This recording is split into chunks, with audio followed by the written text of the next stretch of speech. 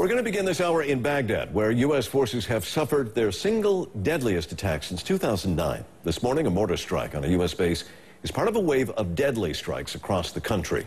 For the very latest, we turn to Michael S. Schmidt. He is a reporter for the New York Times, and he joins us now from Baghdad. Michael, what more do we know about this? Uh, we know that earlier today, there was uh, a rocket attack on an American base in southeastern Baghdad. It was three rockets that were fired from a Kia pickup truck. And we know so far that five Americans have died and several more have been wounded, including including what could be at least a dozen U.S. soldiers. And any idea, you know, who is behind this? No, we don't know who's behind it, and no one has claimed responsibility yet. But the Americans have said over the past few months that they expect violence to increase against them as they prepare to withdraw by the end of the year. So this sort of fits that pattern.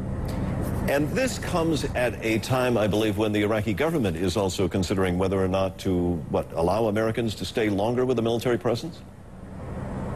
Correct. The Iraqi government is currently debating what they want the United States to do after the end of the year. And on one side, you have the Shia, Shiites who don't want the United States to stay, but there are many other Iraqis who do. All right, Michael Schmidt, thanks very much. That's the uh, boots on the ground view as to what is happening. Let's go now to the Pentagon and CNN's Chris Lawrence. And Chris, what does this mean about the uh, threat against U.S. troops in Iraq? Because I think many Americans had sort of, well, I won't say have forgotten about those troops there, but certainly it's been on the back burner of their minds.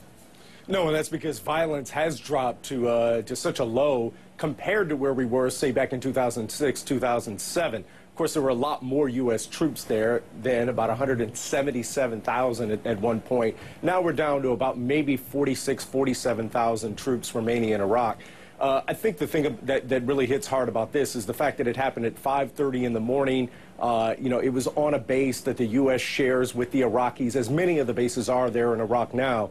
Uh, and some of those U.S. troops were, uh, were, were, told were sleeping at the time when these rockets hit. Uh, so th that's just a very hard thing to digest big picture, when you look at it, it shows that violence is still possible in Iraq. This was just one of many attacks that was carried out around, around the country today. And it sort of reinforces outgoing Defense Secretary Robert Gates' view when he says uh, he hopes that the Iraqis at the end of the year or before the end of the year ask the U.S. to keep some troops in country. And, and, and Defense Secretary Gates says, I would hope that my, you know, successor in the administration would say yes to that request. Chris Lawrence at the Pentagon. Thanks very much. Yep. President Obama is meeting with his national security team this hour, actually talking about Pakistan and Afghanistan and the future of our troops there. CNN's Dan Lothian is at the White House. Dan, Osama bin Laden is gone now, so I suppose the question is how has that death affected what these guys are going to talk about today? Well, look, right now I think it's unclear as to whether or not that will indeed change the timeline in terms of uh, troop withdrawals uh, from Afghanistan. But one thing it has done is really sort of revved up the debate on that issue, along with the fact that there's this ongoing high cost of the war.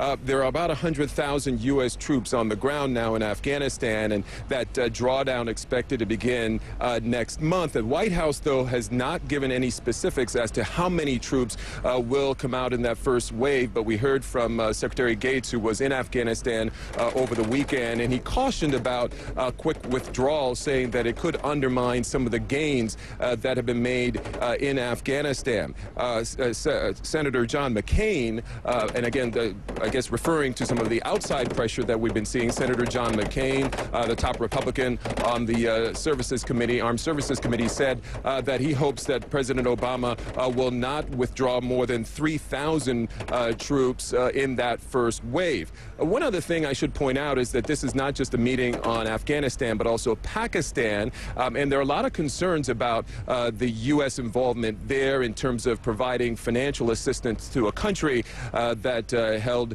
Osama bin Laden. And so those issues will be discussed at the meeting here that is ongoing here at the White House today, and we should be getting a readout sometime later on. Martin. All right, Dan. We'll look forward to getting more updates. Appreciate it.